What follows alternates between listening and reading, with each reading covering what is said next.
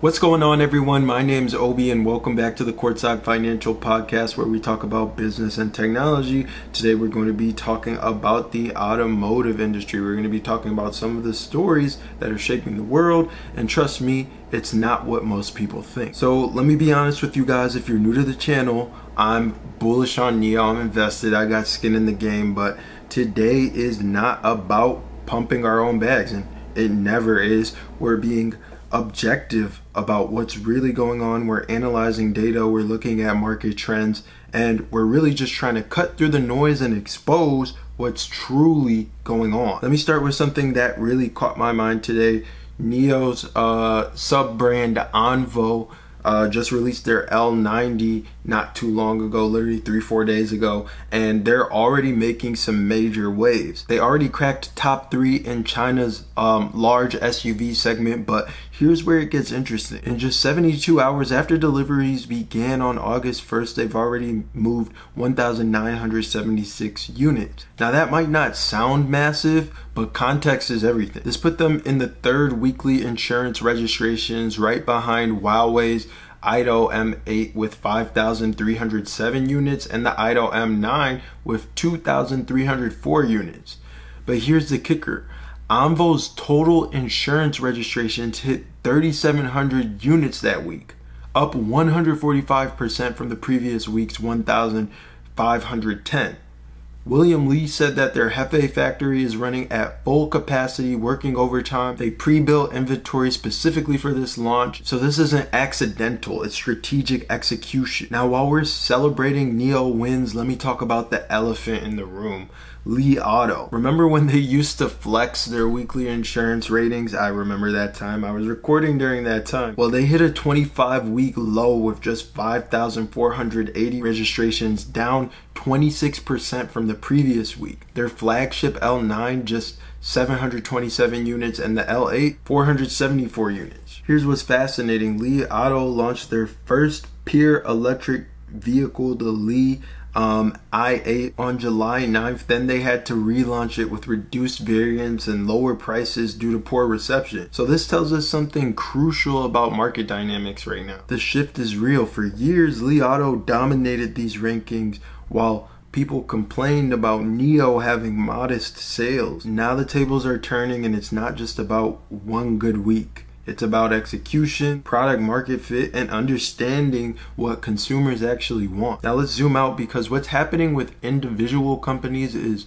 part of a much larger story. Chinese automakers are setting these massive targets 3 million, 5 million vehicles annually and most of them are gonna miss, sadly. On July 31st, FAW Group announced 5 million vehicles by 2030. Changan Automotive a day before said the same thing. Earlier this year, Geely target, targeted 5 million vehicles by 2027, and BYD wants to hit it by 2025.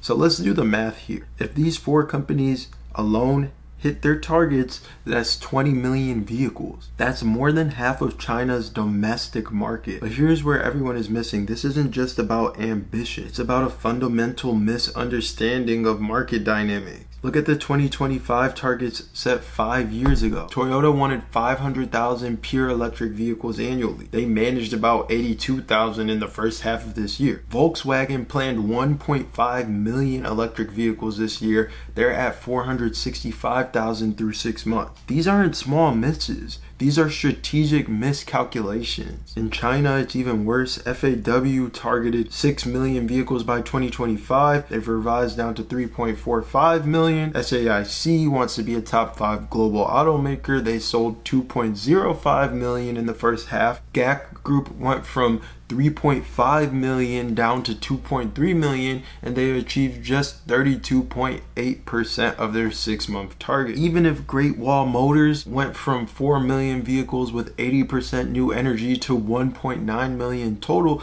they still only hit 65% of that reduced target. But while Chinese OEMs are struggling with realistic target setting, Tesla is quietly revolutionizing the ride hailing industry and most people are missing it. Here's a real world test from Austin Austin, Texas. Someone took 15 Tesla robotaxi rides and compared them to Uber. Tesla won every single time, and we're not just talking about small margins. For a nine mile trip, Uber charged $30.38. Tesla charged $9.92. That's 67% cheaper. For a short trip under one mile, Uber wanted $12.36. Tesla charged $1.97. That's 84% cheaper. Now, your first thought might be Tesla is burning cash on subsidies.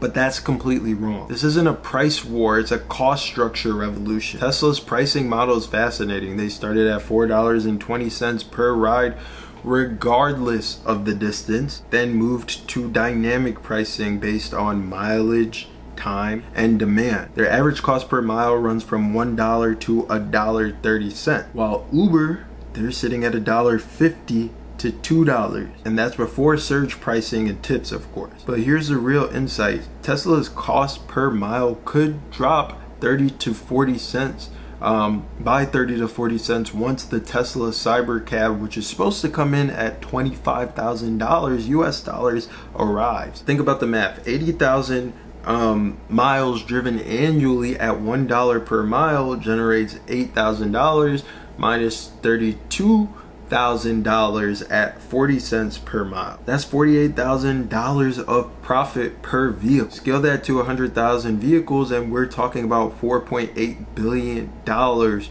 in uh, service transportation profit. Musk says Tesla will cover half the US population by year end. That's 167 million people. The top 15 US metros only total 100 million people combined. So what does this all mean when we connect the dots? First, the Chinese EV market is consolidating faster than anyone anticipated. Companies setting unrealistic targets aren't just being optimistic, they're misreading fundamental market shifts. The winners will be companies like NIO with their sub-brand Onvo because they understand market segmentation, pre-build strategy, and they execute wisely on delivery. Second, the autonomous vehicle revolution isn't coming.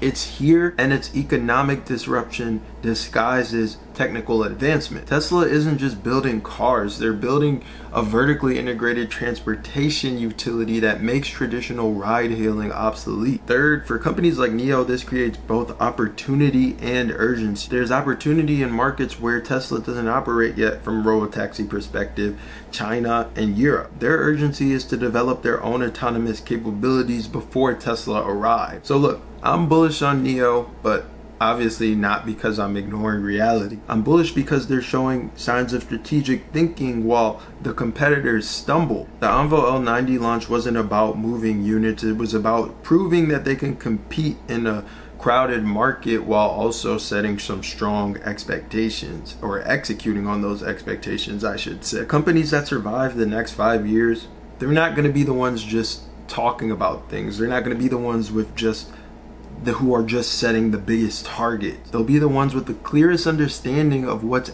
actually possible and the execution capabilities to deliver. So here's my takeaway. Delivery numbers great, but don't get caught up in the delivery number game, the weekly, the monthly, the whatever. That's surface level analysis. Looks at look at execution capability, market positioning, and technological differentiation. So anyways, guys, the autonomous revolution is reshaping everything. Wanted to throw that in there. But anyways, guys, this is it for today's episode of the Courtside Financial Podcast. I hope that this episode was useful for you guys, helpful uh, informative, at the very least entertaining. If it was any of those things, make sure you hit that subscribe button. Let's get the subscriber count up, up, up.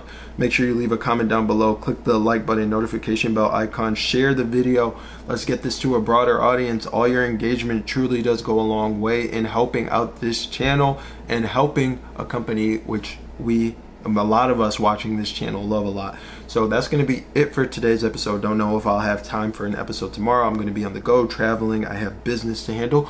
But thank you guys for tuning in, and uh, we'll see you in the next installment. This is Obi signing off. Goodbye.